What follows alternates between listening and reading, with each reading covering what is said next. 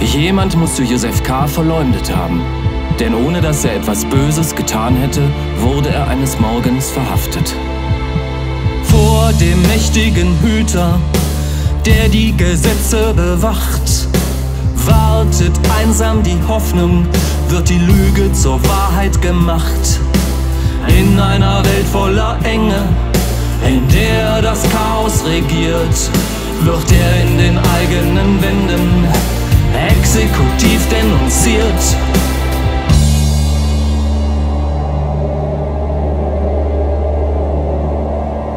Über die Treppen und Gänge, den Labyrinthen der Macht, hat er sein Leben verteidigt und sich in Stellung gebracht. Er hat keine Chance,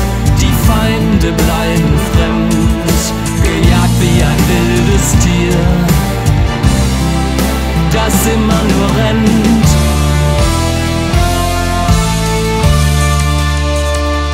...1984,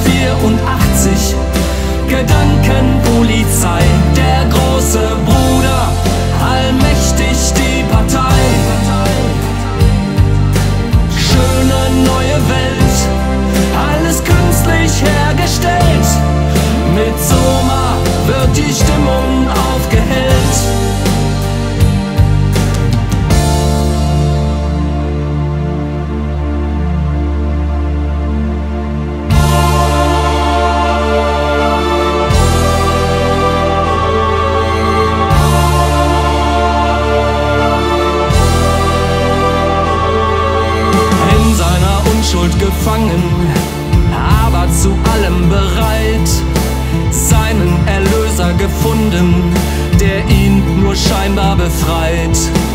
Von Justitia verlassen, die zu Diana gewandelt, den Advokaten entlassen, seinen Prozess selbst verhandelt, hinter den gotischen Mauern, in einer finsteren Welt